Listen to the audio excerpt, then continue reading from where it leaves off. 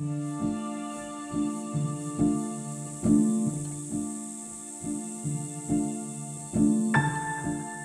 lush fields of Queensland's most northern food bowl are picturesque. Its rich red volcanic soil productive, but a destructive enemy is lurking. I've been farming all my life and never seen something so vicious. And it's down at the Burdekin, it's down at there in the sweet corn area. It's as far as New South Wales, it's a Bow Desert. It's even reached the Victorian border now.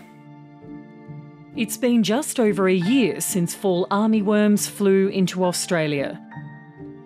Capable of travelling hundreds of kilometres a day, the exotic moth's larvae have devastated crops across the Americas and Asia.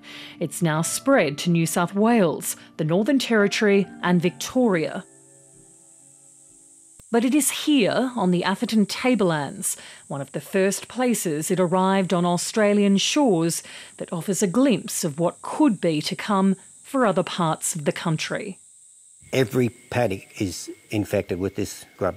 Every paddock on the tableland. There's not one paddock that hasn't got it. It's really bad. When you see this, this will this will open your eyes. This one, it's it's pretty embarrassing. Actually, it's not good at all. Let's take a look. Well, take a Jeff look. Reason is one of the dozens of farmers in the area battling to destroy the oh, caterpillars, spending thousands of dollars each week on chemicals to no avail. There you go. There we go. There's more there. He, Oh, mate, he- wow. he's he's doing well. That fella. No, You see, check this out. he's a. The once healthy crops devoured by the hungry caterpillars. Oh, look at the damage. Yeah, wow. Now this this Just, it's disintegrating, isn't it? it is. It was sort of grasping. He feels at the moment. powerless against this over and have a look at seething this, army. This is pretty bad. See, I don't even know whether I should walk away from some of these paddocks because the amount of sprays I'm spraying, the cost is just just getting away. He's not the only one that's fighting to save his maize crop. Next door, Bob Lloyd is in a similar predicament. There he is there, but he'll eat that centre out of this plant. Hmm. Instead of spraying it once, I've already sprayed it three times. So, but the poisons are, are expensive too, and time and everything. And the weather's got to be with us to spray. We can't spray in the rain. It's not just farmers under strain. Those who work closely with them, like crop duster Hamish Jacob, also feel helpless. Chemicals are barely making an impact on the thousands of caterpillars feasting below. And we don't have the chemistry to deal with it. We're all environmentalists at heart, the farmers, everyone cares about the environment and that sort of thing, and we don't want to be using chemicals unnecessarily, but that's what's happening at the moment. Sweeping low over paddocks time and time again, he feels like he's losing the fight against the fall armyworm. It's hard knowing that I still have to charge for what I do. I'm providing the service they need, but it, it, it just takes the shine off it really, like to be taking money for some, from someone that is not really going to see anything at the end of it, and that's why we're all here. The farmers have even coined a new name for the situation they've suddenly found themselves in. They're calling it the green drought. They've stuck all that money in the ground and they need it to go to fruit so that they can, you know, get their money back. And the way it's looking at the moment, I, I, I can't see how anyone's going to make any money out of a corn crop this year. Many farmers told Landline they were on the verge of walking away from it all. Others have already begun ploughing in their cornfields. It's a situation that has the beef and dairy industries very worried. Ray Graham runs Queensland's largest dairy near Millaa Millaa in far north Queensland. The fourth generation farmer believes there's never been a greater threat to Australia's agricultural industry.